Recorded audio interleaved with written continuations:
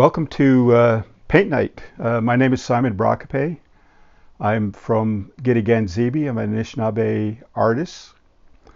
Uh, I'm welcoming you to uh, my studio here in Ottawa, and uh, I'm looking forward to this evening. Uh, we're going to be painting a red Algonquin moose, and I, I just did a sketch here of it, and there's a model back here this uh, moose uh, is a sculpture here in Ottawa at Pimisi Station. Uh, it just went up uh, last year. Uh, quite excited, about it. It's uh, about three meters high or around 16 feet. And you can see it when you're on the Pimisi Station. So this evening we're going to paint a moose. I'm calling it a red moose, but if you got other paints and your favorite color is green or blue, you can do it whatever color you want. Um, we're going to prepare the uh, canvas. Uh, so to prepare the canvas, um, I'm doing a very simple uh, process. I'm mixing um, white paint.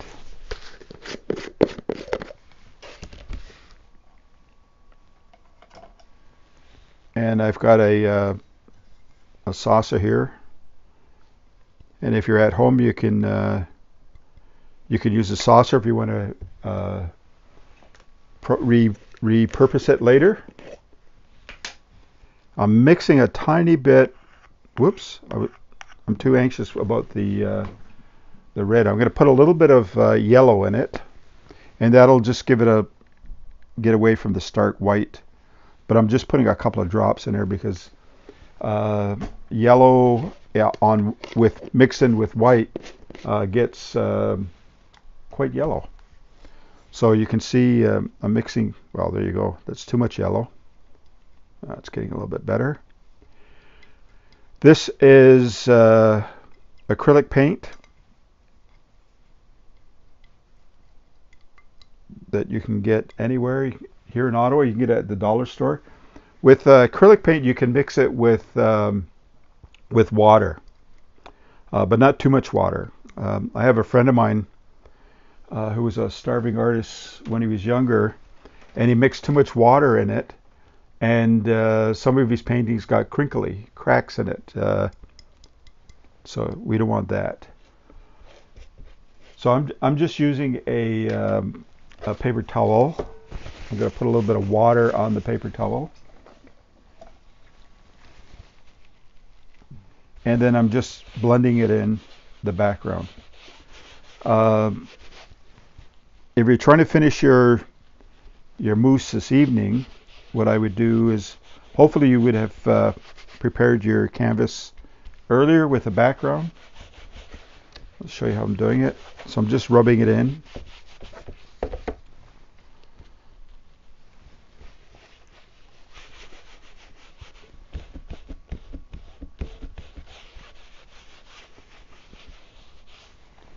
The beautiful thing about art is that when you're doing it, time seems to go flying by. Uh, they think it's because we're using both sides of our brain, our left, our creative side, and our analytical side.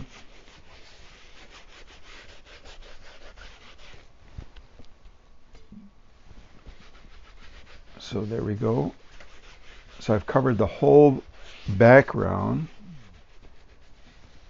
And if you want to get a little fancy and do a few other things with the background, you can uh, write your name in there. I'm going to write my name Simon, like that.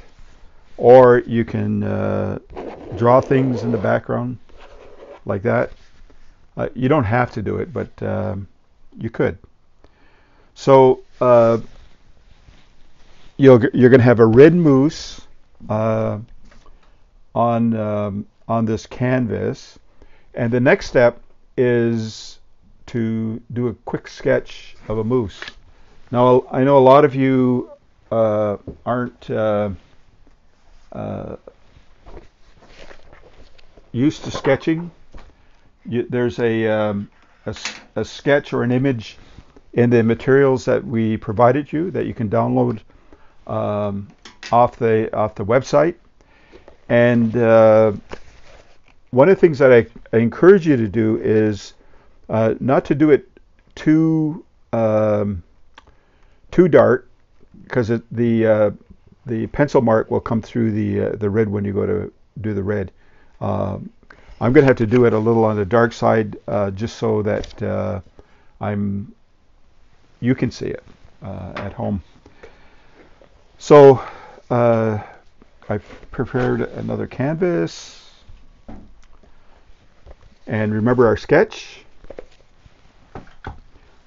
So what I try to do when I sketch, and, and it's almost like your signature, uh, your ability to, to draw and sketch, is you try to maintain a, a nice smooth line.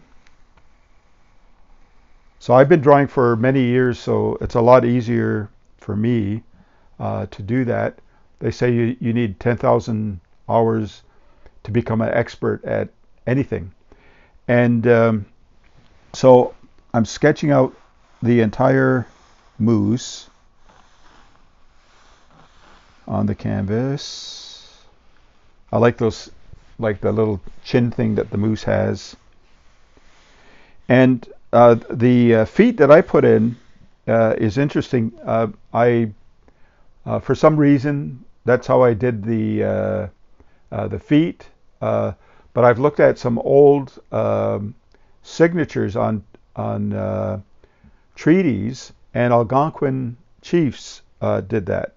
So I'm, I'm not sure. What, what I like to see is uh, in there is I'm I'm seeing like a sky dome. It's like the world that we live, and then there's the spirit world, and uh, the moose is touching the ground. Uh, and in this case, we've got three beautiful sky domes He's got a tail, and the, and the moose have uh, kind of rough, rough-looking backs. They got these smooth shapes in their backs, and I use I don't try to draw a moose antler like you would see on an on a uh, a real moose. Uh, my moose are spirit moose, and the uh, the antlers remind me of uh, leaves on a tree. So you can see the leaves, and it, and it's uh, the idea is that uh, all, what we call all our relations that we're, we're we are as human beings related and connected to everything around us, including the animals. Uh, we we share a lot of the same chromosomes with animals, and even plants. I think a lot of plants about 18% of our chromosomes uh, we share with uh, plants. And um, so that that uh, re- reinforces the idea that uh, we're um, we're all connected. The um, the moose that you see over here is made out of steel, and there's uh, uh, some birds on there in there. So we're back telling the the moose story. So uh, my uh, my my father, uh, as he got older, would would tell me more stories. Uh, when we were young, he would uh, uh, say things to us like, you know, if you're out collecting medicine, don't pick the first medicine because it might be the last. And so he had a lot of instructive uh, philosophical ideas uh, about the natural world. Uh, I used to love to hear him telling stories about uh, hunting, but uh, he told me uh, a story about uh, hunting moose with my uh, uncle Cyril. And my uncle Cyril was this uh, amazing hunter. They, they, were up in a park just north of Kitigan Zibi, north of Maniwaki. And it, it, was in November and it just snowed. And my uh, uncle and my dad were sitting in their truck, I probably eating a bologna sandwich for breakfast, and uh, they got out of their truck, and a couple of uh, whiskey jacks flew by and uh, settled near them. Uh, those of you who uh, go camping or spend time in the woods know that uh, whiskey jacks will hang around your uh, your campsite. So my uh, uncle talks to the uh, whiskey jacks in Al- Algonquin and says, "I could kill you, but I won't. I want you to bring me back a moose." So my father and uh, uncle sat there all day, uh, finishing up their bologna sandwiches, and just as the sun was starting to settle, the whiskey jacks come flying back. My dad said uh, he could see them over the hill, and they were on the, on these uh, old uh, timber roads, and following them was a moose. It was just an unbelievable, beautiful moose hunting story. Anyways, uh, uh, hopefully you've uh, sketched out your your moose on your canvas, and you're ready to paint. So we're going to use uh, uh, red paint. Uh, I've got some red paint here. And if you remember earlier, I, I, I was uh, dipping into the uh, red paint uh, before I should have. And remember that we can use a little bit of water with it so I'm mixing, uh, uh, putting red paint here.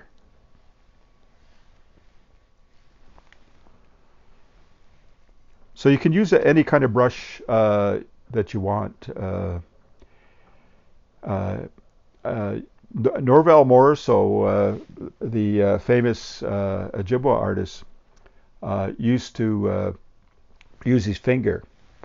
And I think the the uh, that tradition came from our ancestors uh, around the uh, uh around Algonquin territory are these beautiful uh, uh, rock paintings all through the territory, and they would use this red paint that they would grind up from rock and uh, iron. Uh, it was an iron ore uh, rock embedded in it, embedded it into the uh, rock, and they would grind it, grind it into uh, this beautiful uh, red paint, and then they would mix the the red paint with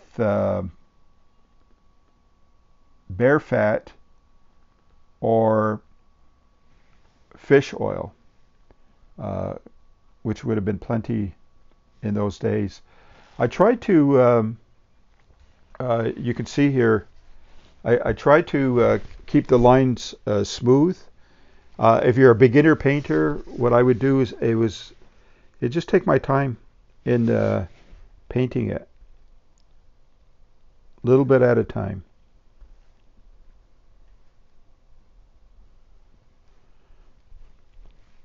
It looks pretty simple for me. And I've got a flat brush here, so I could turn it sideways to paint the pointy sides.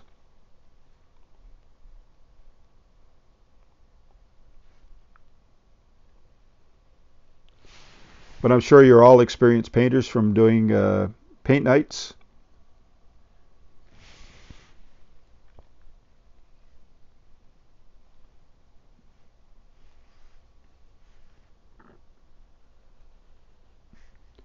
And and don't really try to stick to the line too much. Uh,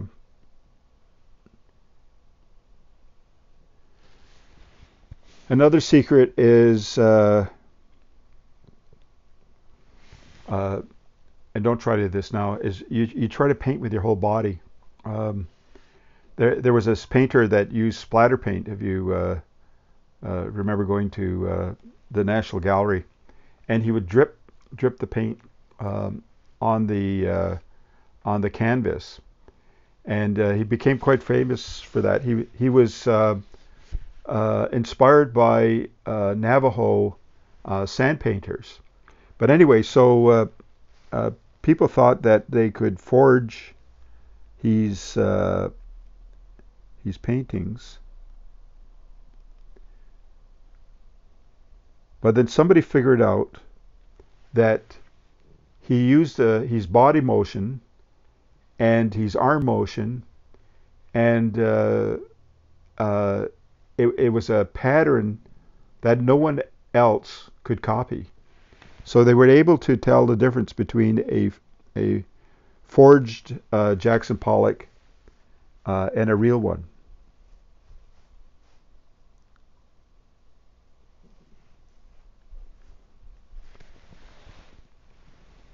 The other thing he did was he smoked, and it, and he would, uh, you know, those little paper uh, uh, matches. Um, I saw one of his paintings in uh, a gallery in, in, Buffalo, New York, and the trick was to try to find uh, the Jackson Pollock um, matchstick embedded in these paintings. So nobody will be able to forge your painting.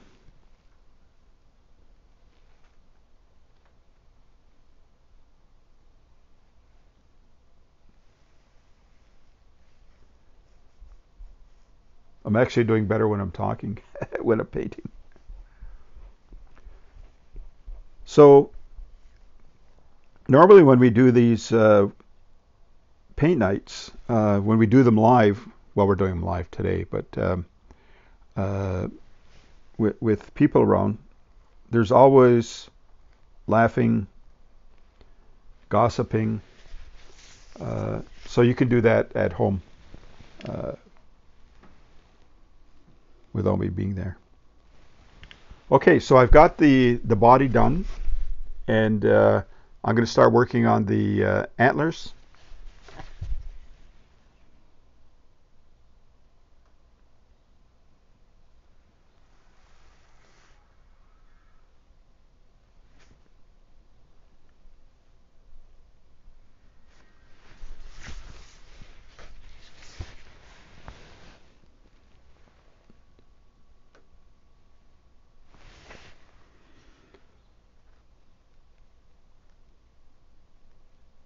So if your paint is going, I haven't really mixed my paint properly here, but um, the water will help it thin it out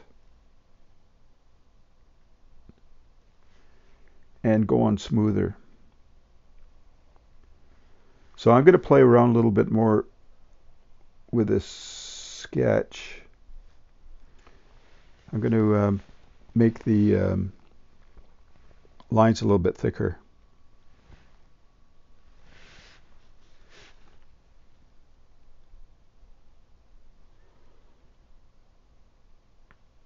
Anyway, so I, got, I have to tell you about uh, installing the uh, the red Algonquin moose at Pimisi Station because it's quite exciting. So the uh, the moose is made out of uh, out of steel, and if you get up really close to it, you can see my uh, signature, which I, um, I, I welded into the um, into the moose. When I, when I was younger, I, I my father was an iron worker, and I worked in the summer with him, and uh, uh, I learned how to weld. And uh, so I told uh, Mike, who uh, runs the uh, the workshop, that uh, I knew how to weld. But uh, when we actually, when I actually went to weld, in the old days we used these welding sticks, and today it's all done using electric welding sticks. Anyways, I was able to weld my name in there. But the the um, the moose weighs uh, several tons, and uh, to install it, we had to um, use the largest uh, uh crane available in Ottawa, and uh, it looked pretty small when we were installing it. Uh, it's it's got a base in there that's about uh, half the height, maybe eight feet, concrete base uh, with with steel reinforced rods that hold up the moose, which you which you can actually see when you go uh, have a look at it. The engineer, because I, I was saying, um, what if somebody comes over there and, and pushes it over? Uh, don't try it. Um, he said you could you could run into it with a truck and it won't get knocked over. So when you do these sculptures, and this is red, it's a red sculpture. Uh, doing a red sculpture is risky for a couple of reasons. One is uh, the paint, red paint, um, uh, fades over time. There's a couple of red sculptures here in Ottawa, so I um, the there was one in the uh, Lake Park there, and um, it's on NCC property. So I, I, got a hold of NCC, found out uh, who the artist was, contacted the artist, but a lot of the work uh, was research was done by my wife Carol. She found um, uh, a red epoxy resin, uh, which is used on uh, these uh, oil rigs. So if you can imagine, uh, you know, you need a paint that's going to withstand salt water, the sun, wind, get beat. Anyway, so we we used a red epoxy resin. Uh, I just love I love red. I don't know why, but um, elders say that red represents life for, for obvious reasons. So uh, we didn't uh, paint the uh, the moose wasn't painted until it was put on place, put uh, in the grounds at Pimisi uh, Station. So uh, you, this red epoxy paint uh, you have to uh, mix it. So we mixed it. You have an hour, half an hour to apply it. Uh, so I, it was applied with with rollers, and we did a couple couple of layers. One of the other problems is, you know, when you're transporting something like a red sculpture, that uh, you could. Um, I, I, got paint on my shirt, anyways. Uh, so it could get damaged in in transit. So that's why we painted it on site.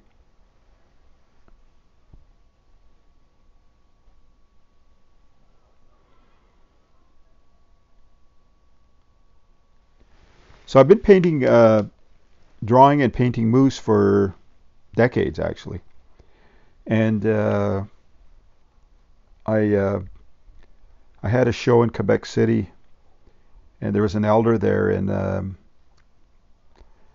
I, I hadn't cho- I didn't choose my words uh, carefully. So he goes, "Oh, I just love this moose." Uh, I did a moose painting, and I said, uh, "I've been working on that for a couple of years because uh, the moose are so ugly." that um, um, it took me that long to to come up with a a uh, an image that that I liked. And he he tore strips off me. He says, "What do you mean they're ugly? They're the most beautiful animals in the world. They uh, they they uh, live on land. Uh, they can uh, they have hollow hoofs because they can go through the the swamps. No other animal can do that. They can swim. Uh, they're perfectly uh, adapted for the environment. Anyways, he told me, um, and our our ancestors and uh, uh, present day Algonquins have a deep reverence for the moose. Uh, when moose hunting season came, and it, uh, my my father would be complaining about uh, people disrespecting moose by uh, putting the uh, moose heads on their trucks and driving through town. You, won't see a, an Anishinaabe or an indigenous person doing that because uh, they have too much respect uh, for animals in the natural world. So I encourage you to go over to Pimisi uh, when it's safe to do so and have a look at it. And you can say you could compare the moose that you're painting tonight with the Pimisi uh, Red Algonquin moose. I'm almost finished. You can see uh, a little bit more. Now, what a lot of artists will do is they'll paint a thin coat of paint and then go over it over and over again. I have a cousin, uh, uh, Erwin Printup, and uh, that's what he does. He does uh, uh, layers of paint and very thin. And when you look at it, you don't see the well. Of course, you see brushstrokes here. Uh, but what I should do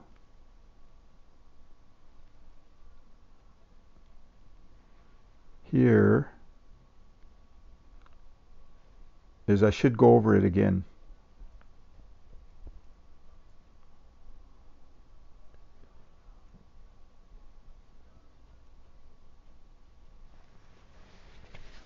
So those of you who have registered for Paint Night or, or have downloaded this on uh, the um, onto your computer and you're doing this uh, uh, I've got a uh, I'm going to sign it with this red hopefully this works. Oh it does work.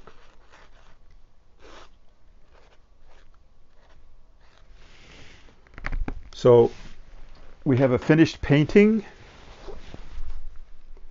Uh, the red moose, you know all about moose now. Uh, and uh, hope you enjoyed uh, painting uh, this evening as much as I did.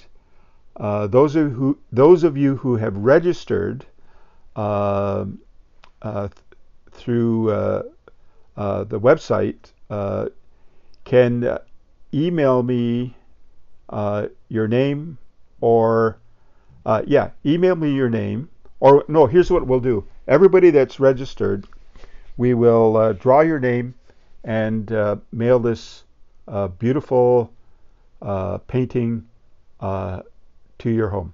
Anyway, so uh, enjoy your evening, enjoy the festival at home, and stay safe. And hope your family and community are well. Miigwech.